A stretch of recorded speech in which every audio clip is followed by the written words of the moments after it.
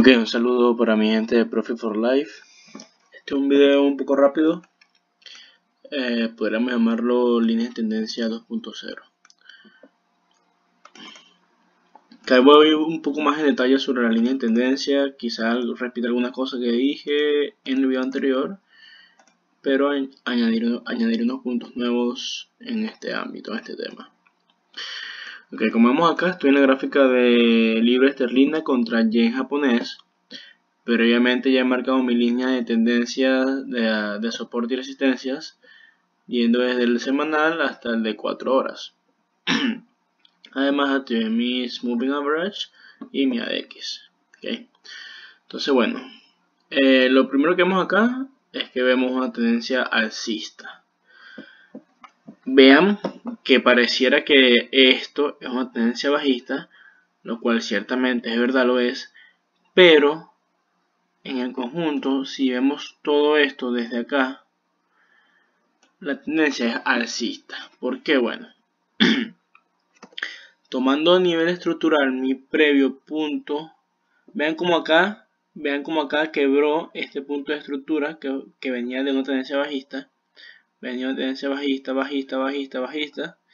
Vean como acá el precio quiebra este lower high de esta tendencia alcista, lo quiebra, le hace retest y luego este gap, me imagino que a lo mejor fue un fin de semana y vean cómo lo, quebró efectivamente y se fue hacia arriba.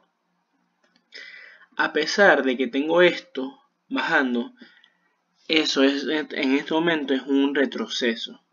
¿Por qué? Lo puedo ver con Fibonacci. Basándome en este último punto de estructura de acá. Como mi previo. Incluso pueden tomar este. Este de acá. Como mi previo higher low creado. Hasta acá. Vean cómo precisamente él lo que está haciendo es llegando justo al 100% de ese nivel de estructura. O sea, él no lo quebró como tal. ¿Por qué? Vean cómo esta vela roja efectivamente pasó, pero que tengo luego una verde que me vuelve a entrar en el nivel estructural.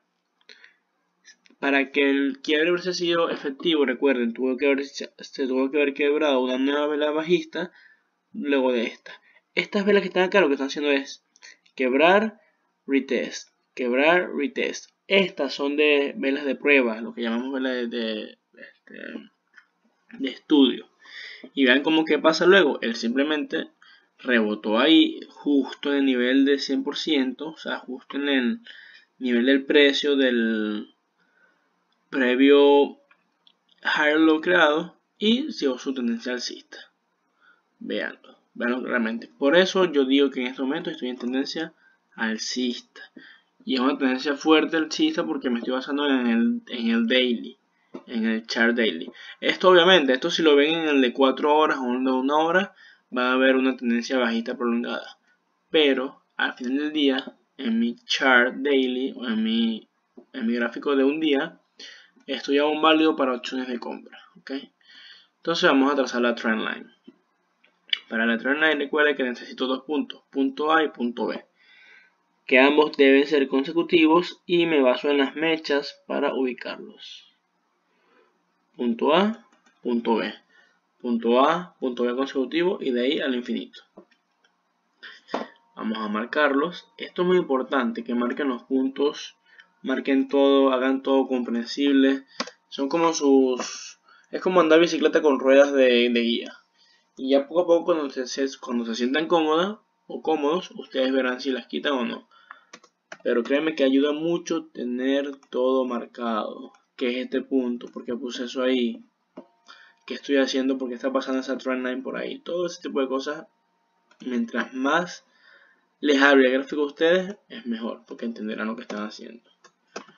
Y créanme, a veces tantas cosas que marcamos eso y luego cuando vamos a ver qué fue esto que marqué, ah, no me acuerdo, no, no sé si fuese un punto de, de soporte o qué fue, ah, punto A, punto B, ah, ok, ya sé que es por donde pasa mi trendline. Este, algo de lo que no le había hablado era de la inclinación de la trendline. Quiero que tengan en cuenta como, por ejemplo, vean esta trendline aquí. Si yo trazara una trendline de, este, de esta línea aquí, supongamos que esto no está, esto no ha pasado desde, desde supongamos que esto es lo que se puede colocar en el cuadro, no ha pasado. Vean cómo eh, podría mostrarse una trendline bastante prolongada, casi que llegando a 90 grados. Casi que llegando a 90 grados. ¿Qué quiere decir eso? Mientras más, vertical tienda a ser mi trendline, es porque el movimiento en, dirección de la tendencia es fuerte. O sea, esto es una subida fuerte. Ven cómo es fuerte, fuerte, totalmente subiendo. Mientras más tirando a 0 grados sea mi, mi trendline, va a ser una trendline más lenta, donde la tendencia va a ser alcista o bajista, pero mucho más lenta. Más sin embargo, va a ser una trendline de, de consolidación, donde va a ser mucho más seguro que el precio rebote, porque es muy difícil que el mercado aguante una, un ángulo, por así decirlo, como esta trendline que tengo acá. Vean cómo acá siguió, siguió y luego quebró. Es muy difícil que el mercado mantenga eso por mucho tiempo porque es muy, muy, muy, muy vertical. En cambio estas son líneas de tendencia donde el mercado tranquilamente puede rebotar y caminar como lo llamamos nosotros los traders. Entonces creo que tengan en cuenta eso en cuanto a las trendline y el ángulo de inclinación. Supongan que tienen acá un eje X, un eje Y y vean el ángulo de inclinación en, donde está dirigido ese trendline. Y vean que, ambos, vean que ambas líneas de tendencia, ambas son alcistas, pero son una variación. Simplemente lo que varía es el ángulo, pero mi tendencia sigue siendo alcista. Ok. Entonces, bueno, vamos a quitar esta por un momento. Eh, es importante saber que para mi línea de tendencia, yo voy a tener todo por arriba y cosas por debajo todo lo que esté por arriba va a ser mi oportunidad de compra. O mi buy perdón mi buy zone esto va a ser mi área de compra y todo lo que esté por debajo va a ser mi sell zone ok. Y esto es importante que lo tengan claro y respetarlo. Recuerden que lo que estamos haciendo es tomar todas las herramientas que tenemos para crear una confluencia de acuerdo a confirmaciones y que nos lleven a tomar una decisión en el mercado. Si nosotros colocamos parámetros en nuestra estrategia o reglas, créanme que va a ser mucho más efectivo nuestro trade. ¿Qué quiere decir eso? Si mi regla es, en este caso por ejemplo, no vender si estoy en mi zona de compra. No vendo en mi zona de compra. Por más que yo vea esto, por más que yo vea este engulfing, por más que yo vea esto acá, sin importar si estoy en el, en el daily, en el 4 horas, lo que sea, por más que yo vea eso, no tomar órdenes de venta en mi zona de compra. ¿Por qué? Porque va en contra de mis reglas. Si estoy en mi zona de compra, yo voy a estar buscando son oportunidades de compra. Además que mi nivel estructural me lo dice, además que mi línea de tendencia me lo dice con mi zona y además que recuerden esto, siempre en una tendencia alcista las órdenes de venta, que sería algo en contra de la tendencia, van a ser órdenes que van a poder aguantar muy poco tiempo.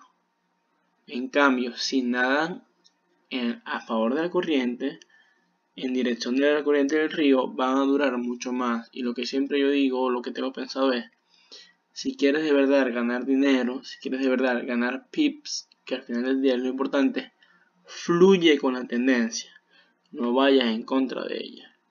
Entonces, un aspecto muy importante que quiero recalcar acá, aparte del punto A, punto B, lo del ángulo, es este. Mi buy zone y mi sell zone.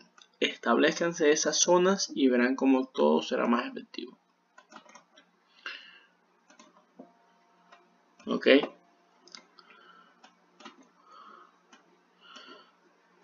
Vean como acá yo puedo tomar otra variación de una línea de tendencia. Es decir, tomar ahora mi punto B como un nuevo punto A para una nueva línea de tendencia en dirección de esta nueva de este nuevo push que se está formando. Entonces ahora este punto B también es punto A, pero de esta nueva línea vamos a colocar la verde, línea verde, vamos a colocar esto verde para que sepan que es de la línea, de la línea nueva.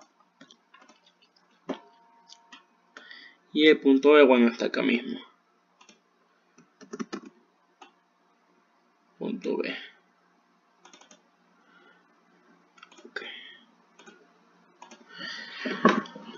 ¿Qué establezco ahí? De igual manera, por arriba buy zone y por debajo sell zone. Pero vean que por debajo de esta línea verde sigo estando por encima de esta. Por lo cual voy a estar pensando,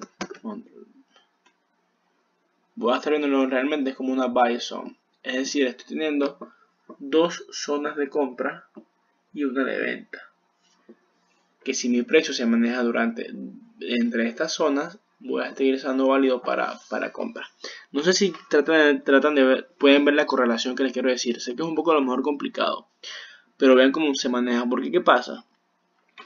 Si el precio llegase a rebotar acá, en esta línea de tendencia verde, lo que me quiere decir es que la acción del precio o el push sigue estando fuerte, por lo cual mi oportunidad de compra va a ser óptima, va a ser un push fuerte, que de repente voy a poder captar 100, 200 pips en mucho menor tiempo que si rebotara en esta línea de tendencia.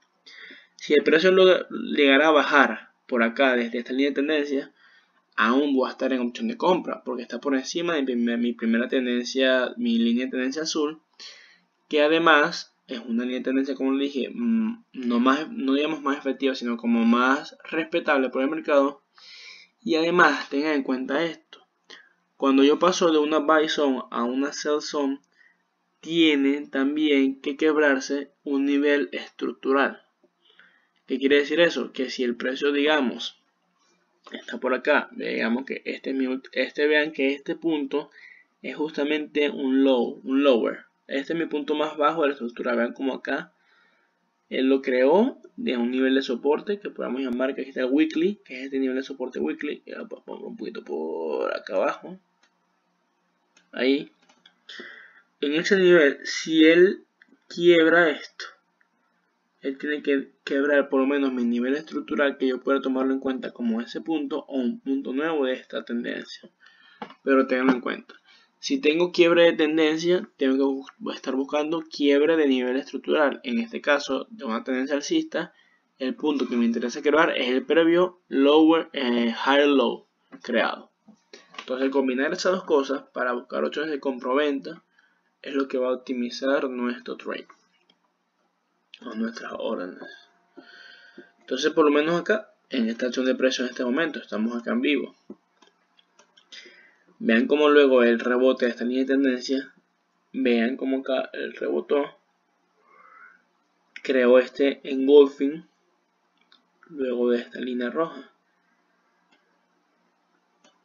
yo tomaría una opción de compra, comenzaría a buscar opciones de compra, arriba,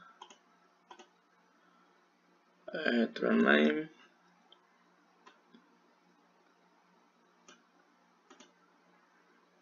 segundo, colocarlo en color naranja y un poco más grueso. Y que no se entienda ok yo comencé a buscar mis opciones de compra por encima del precio del cierre de, este, de este precio. ¿Por qué? Porque bueno, a partir de ahí es donde él superó a la vela, a la vela bajista. Yo espero el cierre de esta vela y comienzo a buscar mis opciones de compra a partir de la creación de las nuevas velas. Vean como que creo una especie de doji, no tomo en cuenta doji, yo pude haber comprado acá. Yo pude haber comprado acá. Mi opción de compra acá.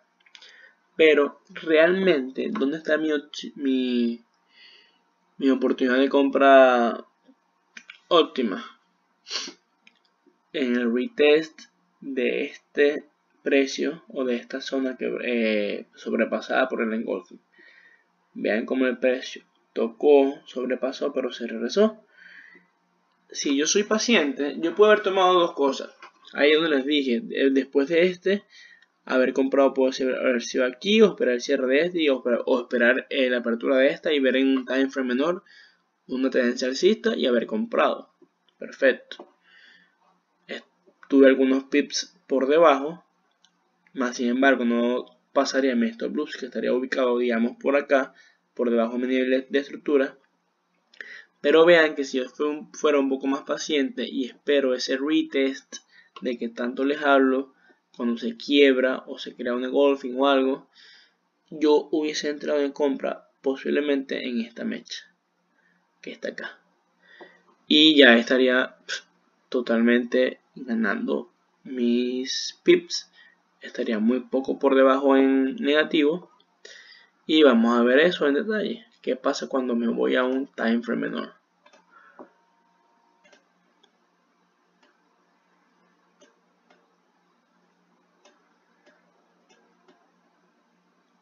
ubicándome en la mecha. Vamos a tomar toda esa vela. Digamos que me voy al time frame de 4 horas. Vean cómo se ve esto en el 4 horas. Vean que yo puedo ubicar una nueva trendline de 4 horas poco más inclinada inclusive. Esto es válido que tengan trendline en diferentes time frames simplemente marquenlas la extendemos a la derecha. Perfecto. Vean como ya va respetando vean como además tengo un quiebre acá de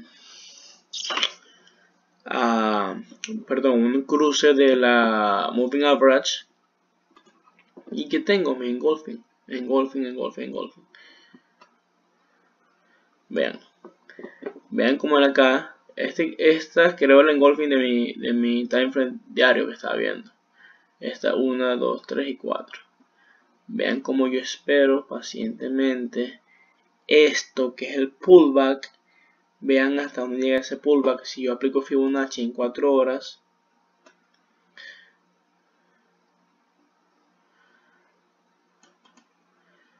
Vean que llegó hasta el nivel de 61.8 tengo un nivel de Fibonacci que es 61.8 válido para un retracement.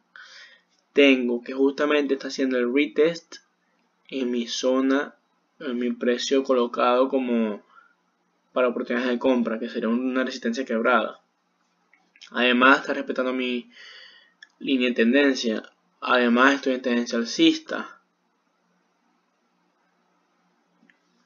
que ¿por qué voy a dudar de tomar 8 de compra? No tendría por qué hacerlo. Luego de este engolfing, vean este engolfing que es bastante grande. Yo pudiera haber comprado luego el cierre de ese engolfing. Haber comprado, pum. Compré y sí estuve unos cuantos pips negativos. Bastante de hecho, pero es por el par en el que estoy. 118 pips. Pero una vez que él comienza a ir a favor de lo que yo había estudiado, vean cuántos pips de ganancia pude haber obtenido. Más de 250 pips. Entonces son 100 pips que estuve un poco negativo contra 250 pips de ganancia y vean que si yo se establecido en stop loss basándome en nivel de estructura que pudo haber sido justo acá ya que mi punto de entrada sería después de esto nunca hubiese tocado mi stop loss y al contrario hubiese sacado si me baso en Fibonacci hubiese ubicado mi take profit acá o acá igual hubiese sacado mis pips de ganancia bastantes recuerden que hay muchos pares y muchos se mueven de forma diferente. Este es un par que se mueve bastantes pips en muy poco tiempo. El, a diferencia del dólar, dólar contra el yen japonés que se mueve que las, el tamaño de las velas en 4 horas un día son 50, 60 pips, no son 200 o más como, como, en este par. Entonces, bueno, vean como si yo espero ese retest, luego espero mi engolfing, entro. Pero aquí estoy en 4 horas. ¿Qué hago yo siempre que veo un retest? Me voy a un time frame menor, el de una hora. Mientras más lleguen a un lower time frame para buscar su entrada, más exacta esta va a ser. Vean como acá acá no hubiese entrado porque no hay engolfing, no hay engolfing, pero si hubiese entrado luego de este cierre. ¿Por qué? Porque estas tres velas me forman un engolfing que envuelve a esta y eso es válido, es una variación del golfing, yo les había hablado ya de ella, una variación. Vean que ahora entrando en el time frame de una hora, entré en este punto. De una vez estuve súper positivo, me puede haber llevado tranquilamente más de 100 pips de ganancia si soy si digamos que mantuve mi orden abierta y no la cerré y voy por más pips luego solamente estuve ni siquiera 20 pips negativos y bueno me llevo los si soy más paciente me llevo los pips que estaba esperando que vean son hasta 200 pips. Miren esta es una locura todo lo que se han llevado. Recuerden a la hora de establecer su take profit, cuánto dinero llevarse, eso ya depende de ustedes, eso ya depende de cuántos pips quiere ganar, eso depende de cuántos lotes pusieron, eso depende de cuál es su estrategia, si llevarse 20 pips hoy por 100, hoy por 200, qué par estoy estudiando, o de repente, bueno, a medida que voy ganando 20, 40 pips, voy moviendo mi stop loss para que la hora se cierre con, ganancia. Y luego busco otra, otra oportunidad de, de compra. Son muchos factores que tienen que tener en cuenta en cuanto a su estrategia. Vean que si ahora me voy al de media hora, 30 minutos, miren esto. Por eso es que es importante que tengan en cuenta que el análisis y todos los factores principales lo tienen que ver en su time frame de 4 horas o de un día donde estén haciendo su análisis. Pero una vez ya tengan su engolfing en 4 horas, van, bajan el time frame y van a los time frame menores, o sea, al tiempo menor, para buscar una entrada más exacta. ¿Qué es una entrada más exacta? Pues una entrada donde voy a estar mucho menos negativo y voy a, voy a llevarme mucho más pips de ganancia. Vean cómo acá perfectamente tengo un engolfing que no solo un engolfing, está rebotando en mi nivel 78.60 que está basado en mi Fibonacci de 4 horas, si no me equivoco, de un día está rebotando en mi línea de tendencia de 4 horas y perfecto. O sea, aquí yo pude haber entrado al mercado. Esto, al yo ver esto, yo hubiese entrado en compra al cierre de este engolfing, justo acá. Hubiese estado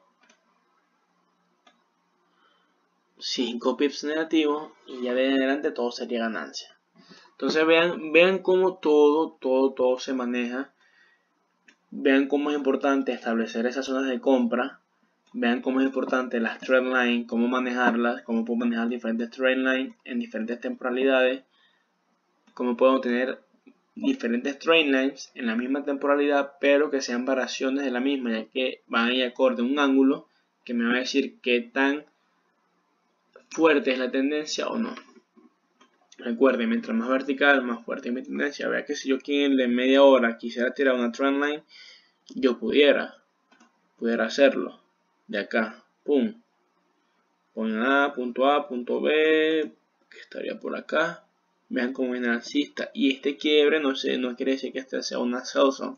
Simplemente que ahora voy a, está bajando, se está consolidando el precio. Pero sigo en mi zona de buy zone que está establecida desde mi daily chart. Así que bueno, este, espero que esto haya quedado un poco claro. Quizá no veo muy complicado, pero son, son simplemente confirmaciones. Es un poco de lógica también, o sea, la acción del precio es muy importante. Vean como una trendline no me va a servir durante un mes, una semana, porque el la acción del precio va a ir cambiando, va a ir variando. Entonces, bueno, es importante que cada video tomen notas, es importante que tomen, pongan asteriscos, es importante este, hacer esto, hacer aquello. Eso es muy importante porque al fin de cuentas las notas o, o los apuntes que ustedes tomen son los que le van a utilizar cuando vayan a hacer su análisis y anoten las dudas, anoten las dudas, que las clases que estamos dando en vivo, que ya vamos a dar la segunda, la segunda dentro de poco, hoy estamos a fecha de 28 de junio, la próxima clase podría ser en agosto del 2017, es importante que tomen notas y tengan dudas y las anoten y las preguntes, porque para eso son las clases online, para aclarar dudas. Si ustedes no tienen dudas, si ustedes no llevan dudas, va a ser muy difícil para mí saber dónde estamos fallando, saber qué falta reforzar, saber qué me he saltado en los videos, porque yo tampoco puedo explicar todo, porque esto es bastante amplio, pero le estoy explicando lo más importante. Los demás detalles se van, se van este, mejorando en las clases online. Eso es lo más importante. Y Dios quiera en un futuro podamos dar clases en vivo. Estoy pensando en dar un curso en vivo donde van a estar mucho más in depth o en profundidad con mi estilo de trading, con mi análisis técnico, porque no es lo mismo, obviamente, pues, tener una clase en vivo que estar en una, que estar en una clase online. Eso, eso se, se entiende. Entonces, bueno, sigan estudiando, sigan repasando, sigan aplicando lo que ya saben. Cada detalle como esas cosas que digo de marcar su chart, de tener reglas en la, estrategia que no, que no deberíamos quebrar. Todas esas cosas que al parecer no son de, del análisis técnico, son de la parte de psicología, créanme que son de las más importantes. Entonces, bueno, mi gente de Profit for Life, espero que les haya gustado este video y nos vemos en uno próximo. Peace out. Por quedarte hasta el final de este video. Si te gustó y te ayudó, no olvides darle like y suscribirte al canal. Para estar también al tanto de todo lo que está ocurriendo en el ecosistema de Profit for Life, noticias, Profit Calls, calculadora y mucho más, no olvides adquirir nuestra app.